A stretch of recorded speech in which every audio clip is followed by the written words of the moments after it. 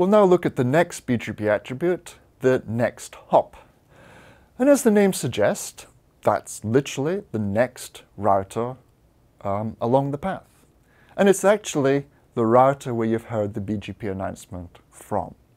So we've just seen the AS path, and the next hop is the IP address of the next router, so the router in the adjacent AS you've heard the prefix from.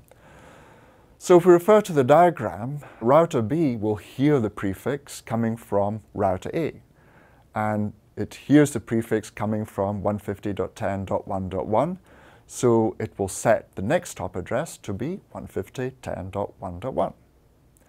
Now this is for eBGP. The address of the next hop is the address of the external neighbor. iBGP is different. iBGP, according to the standard, the next hop is learned from eBGP. So nothing changes. So when router B sends the prefix onwards to router C, the next hop address is still 150.10.1.1 per specification.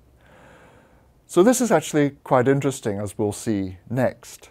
Now before we move on, next hop is a mandatory attribute. You have to have an IP address of the next router. If you don't have an IP address, you can't get to that destination.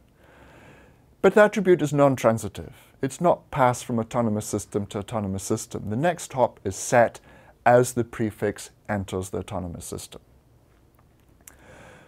So if we look at iBGP first, now if we introduce a prefix, say we, again, we look at this diagram, we move to router B, we introduce, say, 120.11 slash 24 into our iBGP.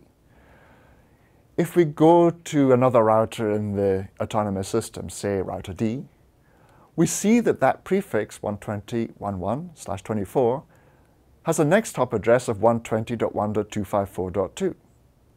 That is the loopback address of router B.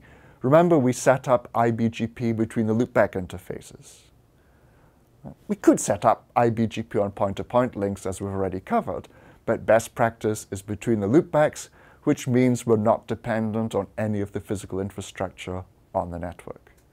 So in the diagram there, the lines between the routers, they might be the iBGP sessions, they might be the physical links I haven't specified, and it doesn't matter. But they definitely are the iBGP sessions because iBGP is fully meshed. Because we don't have this dependency on the physical infrastructure, how we get to the loopback of router B is left entirely to the IGP. So whether we're using OSPF or ISIS, we use the IGP to find out how to get to that loopback. And this is what we call recursive route lookup. Router D will look in the IGP to find out how to get to the loopback of router B. And so if any of the physical links break, OSPF or ISIS takes care of rerouting to bypass the broken links. BGP doesn't need to care about it. And this is why we really like this. It makes iBGP topology independent, independent of what the internal network infrastructure looks like. The other piece I want to look at is the third party next hop. This is kind of interesting too and is actually made use of in an internet exchange point.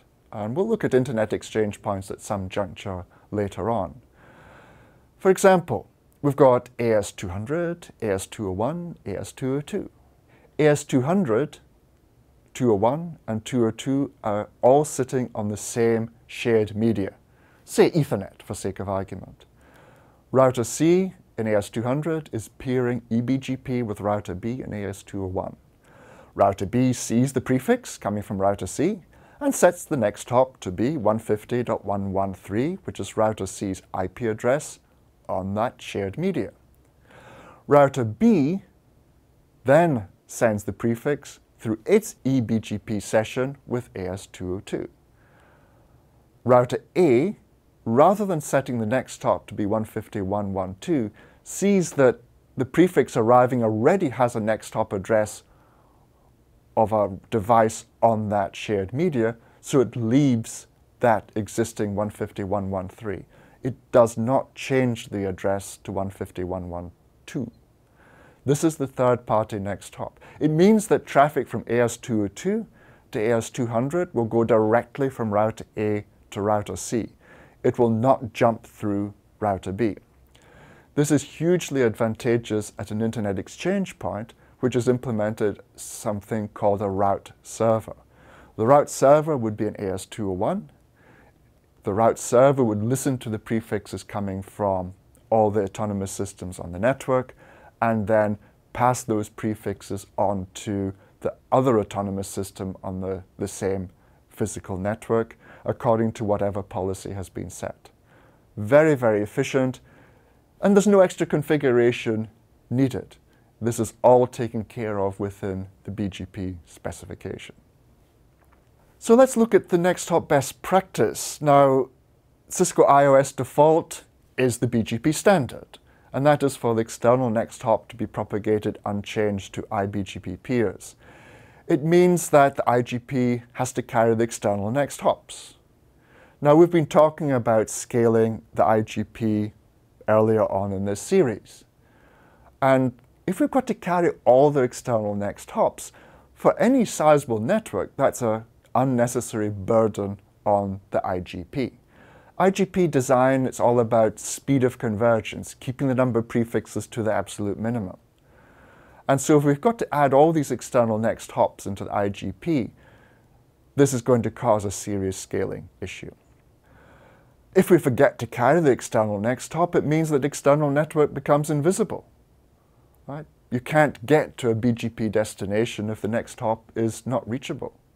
And this is an often caused issue in many, many network operations, network infrastructure, where the operators have been puzzling over why can I not get to this neighbor, why can I not get to this destination? More often than not, even when the destination is in the BGP table, the next hop is not reachable.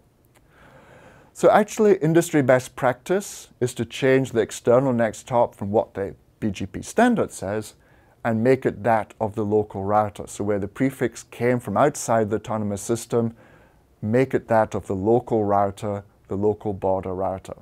The Cisco IOS command to do it is just neighbor next hop self. Other BGP implementations will have a similar construct as well. And as I said, this is very much industry best practice now and I encourage all implementations of BGP, all deployments of BGP to, to do this as it saves an unnecessary extra load on the IGP. So summarizing all this, IGP should carry route to the next hops. We're going to make use of the recursive route lookup, which means we have unlinked BGP from the actual physical topology. We use next hop self for external next hops, and all this allows the IGP to make the intelligent forwarding decision.